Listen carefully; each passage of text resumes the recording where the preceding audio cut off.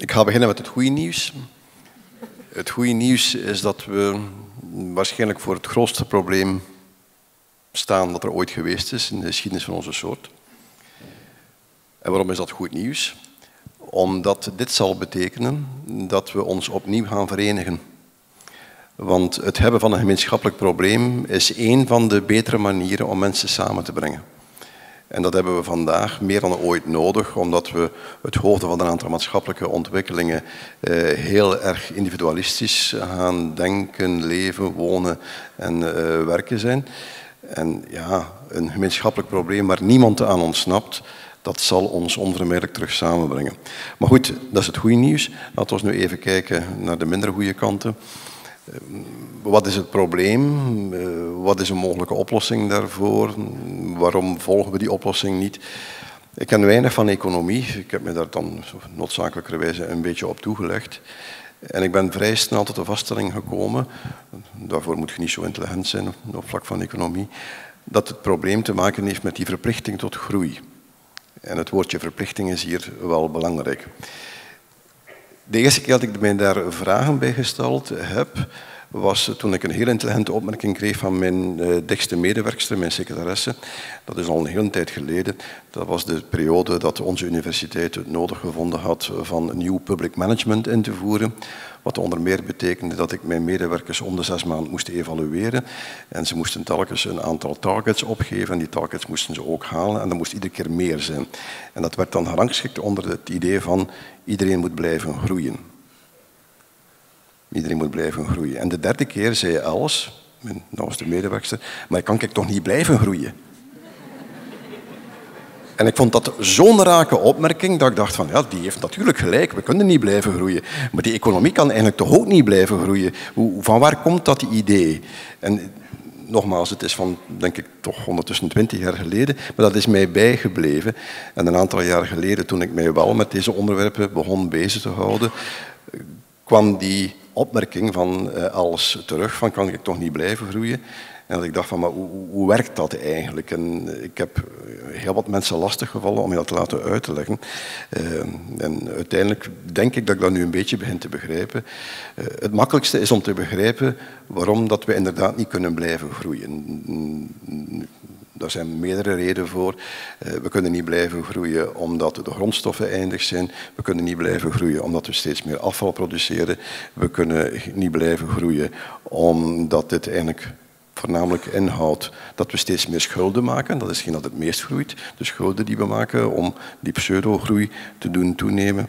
Eh, en last but not least natuurlijk eh, heeft die groei de reusachtige klimaatverandering veroorzaakt waar we nu met z'n allen voor staan. Goed, we moeten echt niet denken dat de mensen die aan het beleid staan, dat zij dit ook niet weten. Zij zijn ook niet dom.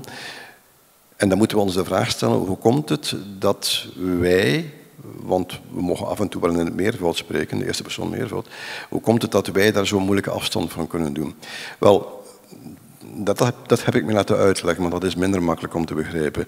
Het is zo dat onze vorm van economie met handen en voeten gebonden ligt aan die noodzakelijke groei. En dat heeft te maken met wat dan macro-economische structuren genoemd wordt. Groei, of zonder groei beter gezegd, daalt de werkgelegenheid. Zonder groei eh, kunnen we de sociale zekerheid niet meer betalen en zonder groei kunnen we ook de even noodzakelijke loonstijging niet meer bekostigen. Dus geen enkele politicus kunt je vandaag de dag ervan overtuigen dat we die groei moeten doen afnemen, want dan stort heel dit systeem in elkaar. Dat betekent dat je dan onmiddellijk eigenlijk bij de oplossing komt. Als we dit willen veranderen, dan zal het nooit lukken door te gaan voor minder groei. Dit werkt niet. Dit betekent dat we simpelweg, het is eenvoudig om te zeggen, maar moeilijk om uit te voeren, dit betekent dat we naar een systemische verandering moeten. En dat is niet eenvoudig. Als je de geschiedenis bekijkt, we hebben al een aantal keren markteconomieën gekend in onze geschiedenis van de laatste 2000 jaar. Die kennen een cyclische beweging en eindigen altijd min of meer op dezelfde manier zoals wij nu bezig zijn, in uh, aftakeling, verval en uiteindelijk in uh, een sociaal debakkelen. Wat er nieuw aan is vandaag is één, dat we het veel beter kennen. Twee, dat het mondiaal is. En drie, dat we die klimaatverandering hebben. Dat probleem dat wereldwijd is. Dat is de eerste keer. En dat betekent dat we misschien eh, met z'n allen in staat zullen zijn om daar toch iets aan te veranderen. En het verhaal dat we zojuist gehoord hebben van de financiële sector, die een van de meest halstarrige sectoren is, dat heb ik ondertussen ook al door. Wel, als die aan het veranderen is, dan is er toch wel hoop, denk ik. Goed, wat is er nodig? Op het vlak van systemische verandering, als we gaan naar economische structuren, dan blijf ik het antwoord schuldig. Ik heb er wel een aantal ideeën over, maar dat is glad ijs om mij op te wagen. Uh, ik kan wel een aantal ideeën geven waar ik dan ietsje meer van af weet. Uh, voor die systemische verandering zullen we in eerste instantie uitdrukkelijk een mentaliteitsverandering nodig hebben. Uh, die ook weer in termen van wij mag uitgedrukt worden, want het is heus niet alleen de ander, het gaat voor ons allemaal. En die mentaliteitsverandering betekent eigenlijk dat we de verandering die de laatste 30 jaar plaatsgegrepen heeft, eh, dat we dat moeten veranderen. Want er is iets heel merkwaardigs gebeurd. Dirk in zijn inleiding had het over de etymologie van het woordje economie, de oikos. Uh, wel, als we een beetje dichter in de tijd kijken, de betekenis van het woordje economisch in het Nederlands, als men zei dat iemand e-, economisch omging uh, met zijn centen, economisch omging met, met zijn bezit, dan bedoelden we daar altijd mee dat iemand daar zuinig mee omging. Dat iemand er op een verstandige, zuinige manier mee omging. Vandaag de dag is het exact het omgekeerde. Net zoals bedrijven en landen schulden moeten maken om te groeien, moeten wij ook allemaal zoveel mogelijk verwerven. Zoveel mogelijk bezit, zoveel mogelijk, van alles. Dat is dat idee van die verplichte groei die ook doorgedrongen is in onze privéwereld. Nu ga ik eventjes heel ver terug in de tijd, de vierde eeuw voor Christus. Aristoteles, de Ethica Nicomachea. Hij bespreekt bijna terloops, want dat is voor hem op dat ogenblik niet echt zo'n belangrijk punt.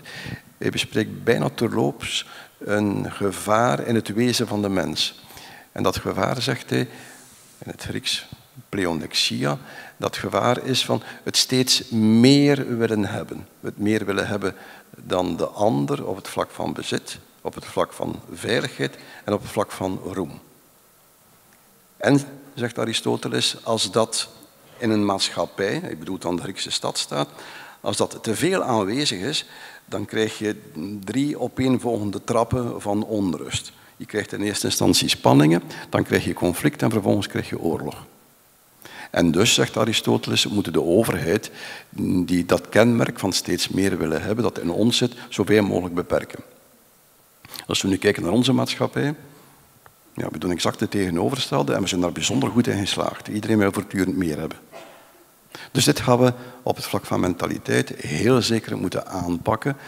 En die mentaliteitsverandering, denk ik, is eigenlijk al volop bezig. Je ziet dat heel wat mensen inderdaad beginnen te beseffen dat er op een aantal vlakken toch iets moet veranderen. Dat brengt mij bij het tweede punt. We moeten gaan naar een gedragsverandering. Mentaliteitsverandering volstaat niet. Die mentaliteit is al veranderd. Uh, maar tussen denken en doen is er vaak nog een brede kloof. Hè. Dus hoe gaan we die gedragsverandering installeren? Wel, ik vrees dat er daar dan toch wel een aantal machtsmechanismen aan te pas zullen moeten komen. Ik denk niet dat mensen zomaar van uh, gedrag veranderen. Dat kan op een vriendelijke manier gebeuren, dat kan met overleg gebeuren, dat zijn de beste methodes. Uh, het zal af en toe, vrees ik, ook opgelegd moeten worden. Daar houden we niet van, maar ik denk dat we niet onderuit kunnen. Goed, een goed voorbeeld dat we hebben is hier in onze eigen stad, het circulatieplan. Uh, daar is heel wat rond te doen geweest. Uiteindelijk denk ik dat er vandaag een duidelijke meerderheid voor gewonnen is. Terwijl dit eigenlijk aanvankelijk niet zo vanzelfsprekend was. Hè. Daarmee kom ik bij het laatste en het belangrijkste punt, toch voor deze avond. Ehm, het is ook al verschillende keren aangeraakt geworden. Hoe kunnen we zoveel mogelijk mensen meekrijgen? Hoe kunnen we ervoor zorgen dat we een aantal mensen bereiken die we op dit ogenblik niet bereiken? Want eh, die bewustzijns dat zich bewust worden van. En die mentaliteitsverandering die moet zo breed mogelijk gedragen worden. Wel, het probleem wordt hoe langer hoe duidelijker. Nu moeten we ook nog die, die oplossingen naar voren schuiven. En helaas wordt dit vandaag heel vaak op een verkeerde manier gedaan. Die systemische verandering zal niet alleen, en misschien zelfs niet eens uh, uitsluitend, en vooral op het vlak van de economie moeten gebeuren. Het zal ook op het vlak van de politieke beleidsvoering moeten gebeuren. Wat we nu zien, en dat is niet alleen bij ons, want het is een beetje makkelijk natuurlijk om op onze eigen regering te schieten, is het toch niet. Um, maar als je Europees gaat kijken, en zelfs verder dan Europa, dan zie je dat we een steeds meer proteststemmen krijgen. Dat steeds meer mensen uh, wegdrijven naar uh, ultrakant. Het zij ultralinks, het zij ultrarechts, het zij gewoon uh, niet gaan stemmen. En dan kunnen we daar, dan wordt er daar ook vaak door ons, door mensen die tot deze groep behoren, wordt er daarop afgegeven. En gaat men zeggen van ja, uh, dat is populisme, die mensen zijn niet opgeleid, die hebben het niet door, ze worden misleid, uh, enzovoort, enzovoort. Dat zijn de makkelijke verklaringen. De eigenlijke verklaring is dat ze niet gehoord worden. Dat ze geen erkenning vinden. En dat ze dat al 30 jaar niet krijgen. Het is ongeveer al 30 jaar dat je die proteststemmen ziet uh, stijgen. En dan moeten we niet verwonderd zijn dat we dergelijke reacties krijgen. Ik zat, denk ik ondertussen een jaar geleden, in een panel in Nederland, een boekenprogramma, eh, samen met iemand anders die ook een boek gepleegd had. En eh, het boek van die andere man ging over racisme. En die man was zelf ook eh, object van racisme. Dat is een uh, zwarte Nederlander, niet in Nederland geboren, dat hoorde je ook aan zijn stem. En hij had eigenlijk een heel uh, respectvol boek geschreven over racisme. Met heel veel respect voor de racisten. En zijn voornaamste boodschap, merkwaardig genoeg, was de volgende. Voel de pijn van de racist. Ik vond dat schitterend. Ik had dat nog nooit gehoord, zo'n uitdrukking. Voel de pijn van de racist. Wel, voel de pijn van de populist. En als we dat horen, dan zullen we hen ook meekrijgen voor het reusachtig probleem waar we nu met z'n allen voor staan. Ik denk dat ik daar ga afronden.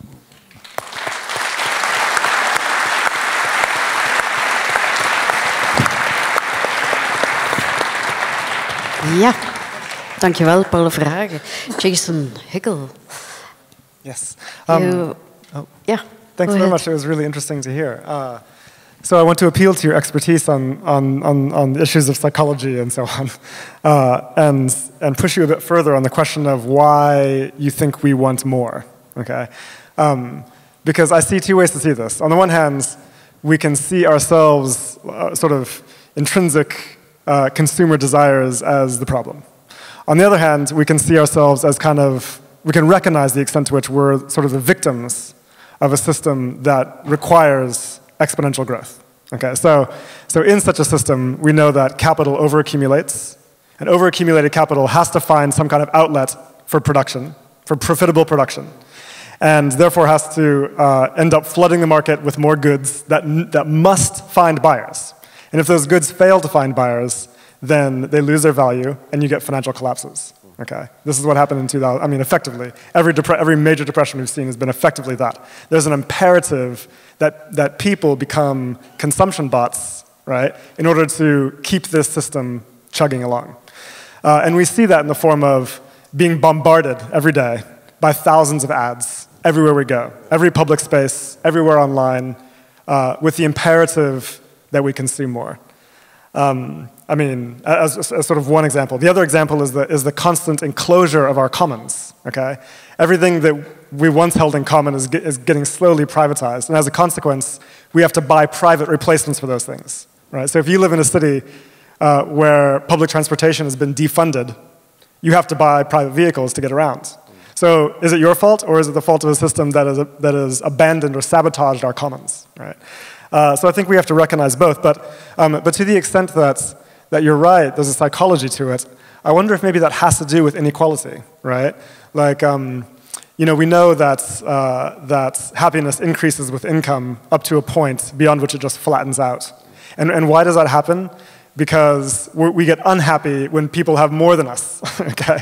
And so as long as you have a system that generates inequality, like ours does, then more income is actually never enough to satisfy anyone's longing for happiness, right?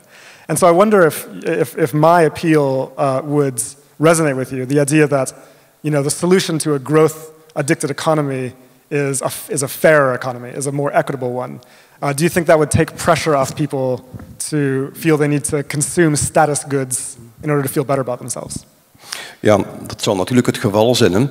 Um, heel die problematiek hangt met alles samen. Hè. Je kan er niet één iets gaan uithalen. Nu, eerst en vooral, als wij vandaag de dag inderdaad steeds meer willen kopen en steeds meer willen hebben, en dat geldt eigenlijk voor ongeveer iedereen in het Westen, ja, dan is dat niet alleen het gevolg van die uh, voortdurende reclame en, en, en die, dat voortdurend gebombardeerd worden. Dat is natuurlijk onder andere een gevolg daarvan, maar niet alleen uh, maar een effect daarvan. Dat heeft ook te maken met het feit dat dat in ons zit. Dat competitieve, dat zich willen vergelijken met de ander. In het Engels zegt men keeping up with the Jones. Uh, ja, dat is de aard van het beestje. En dat wist Aristoteles al, vandaar dat hij zei uh, een overheid in combinatie met een opvoeding moet dat proberen te temperen, moet dat proberen onder controle te houden. Als dat niet het geval is, dan wordt het gevaarlijk. Wel, onze maatschappij doet inderdaad exact het tegenovergestelde. Een tweede aspect wat erbij komt, en dan heb ik het over welzijn, inderdaad, tot op een bepaald punt zal het meer hebben van een aantal zaken eh, en van veiligheid eh, ervoor zorgen dat we ons beter voelen, maar vanaf een bepaalde grens is dat niet meer het geval. En toch blijven we doorgaan. Hoe komt dat? Wel, dat heeft te maken met het feit dat wij op dit ogenblik nog nauwelijks een hoger doel hebben. Het uh, collectief verlies aan zinverlening is zeer groot op dit ogenblik. Dat heeft te maken met het wegvallen van de grote verhalen, dat heeft te maken met het wegvallen van religie. Ik ga nu geen pleidooi houden om religie terug in te voeren, dat vind ik eerder een privézaak. Maar hoe dan ook, we zien wel de gevolgen van het verdwijnen van die collectieve zingeving. En in de plaats daarvan is het nieuwe doel dat voorgehouden wordt bezit. En ja, zoals u zelf al gezegd hebt, het is nooit genoeg. Er is daar geen intrinsieke grens aan, dus moet het alleen maar meer worden. En het enige wat we dan kunnen bedenken is meer dan de ander. En dan zitten we in een soort rollercoaster die eh, nooit gaat stoppen. Hè. Vandaar dat ik met de enige ironie, maar terzelfde tijd meen ik het ook, vandaar dat het hebben van een collectief probleem een deel van de oplossing kan zijn.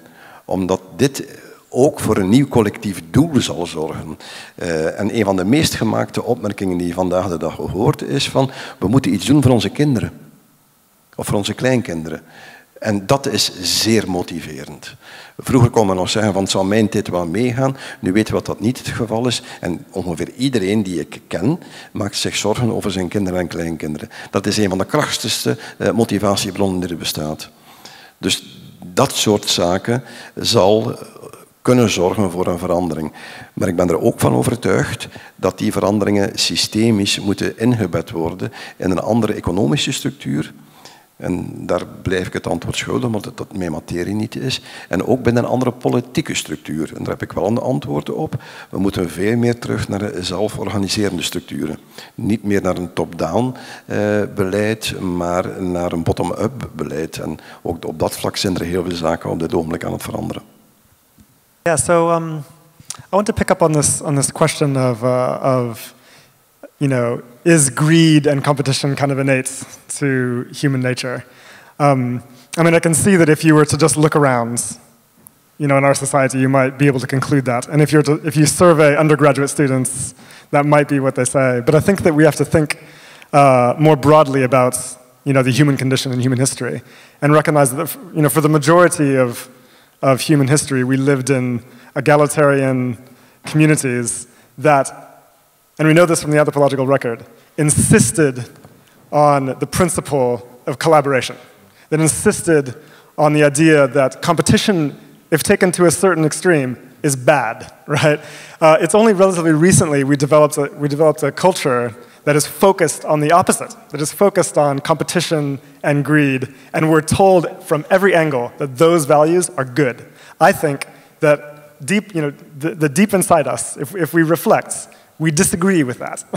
I think that actually, you know, the better angels of our nature aspire to something different. Uh, and I think that what we need to do is, is, appe is appeal to, to our innate sense of collaboration and cooperation uh, um, as we try to solve this crisis.